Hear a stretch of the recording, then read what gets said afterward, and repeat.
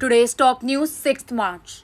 Prime Minister Narendra Modi greeted Madhya Pradesh Chief Minister Shivraj Singh Chouhan on his 62nd birthday on Friday and lauded him for taking the state's progress to new heights.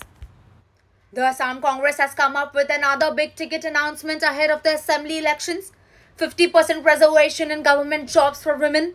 The party has also said that if it wins the polls, it will form a job creation department.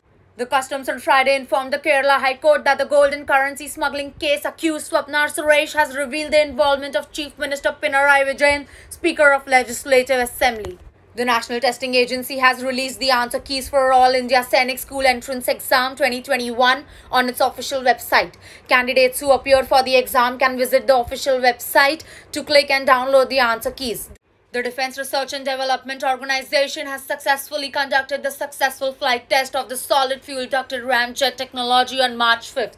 The flight test was conducted from Integrated Test Range at Chandipur off the coast of Odisha. The Supreme Court on Friday sought the centre's response on a plea challenging the constitutional validity of the guidelines in the Blood Donor Selection and Blood Donor Referral 2017, which prohibits transgender persons, gay men, and female sex workers for donating blood, as they are considered high risk category as being HIV or AIDS infected.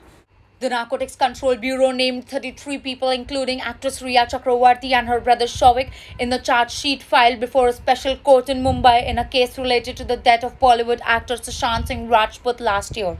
The charge sheet accuses Ms. Chakravarti for being a part of drug syndicate and claims that she was a part of conspiracy to procure and supply drugs. A three-day combined commanders conference begins from Friday at Kewadia in Gujarat. Defense Minister Rajnath Singh will address the top commanders of the Indian Army, Navy and Air Force. The world food prices have increased for the ninth consecutive month in February 2021. This increase is at its highest level since July 2014. The Food and Agriculture Organization stated that food prices have increased because of the jumps in prices of sugar and vegetable oils.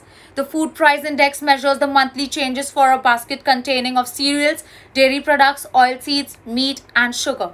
Thank you and that's all for today.